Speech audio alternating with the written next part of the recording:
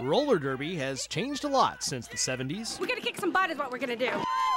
Then again, some things never change. You deal with things like broken bones and um, sprains and really painful situations that a lot of people can't handle.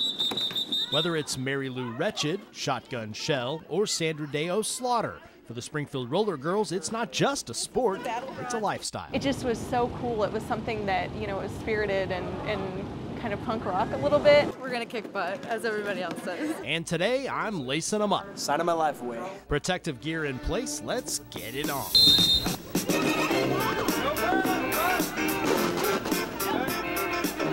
I've got the jammer role, so I'll try to fight through the other team's blockers while my blockers clear a path for me. Out of bounds! Easier said than done.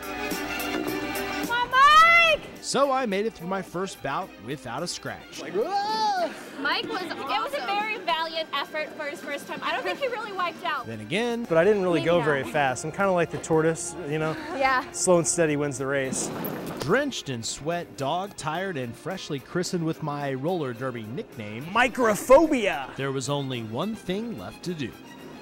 Back to my day job and leave the art of roller derby to the Springfield Roller Girls.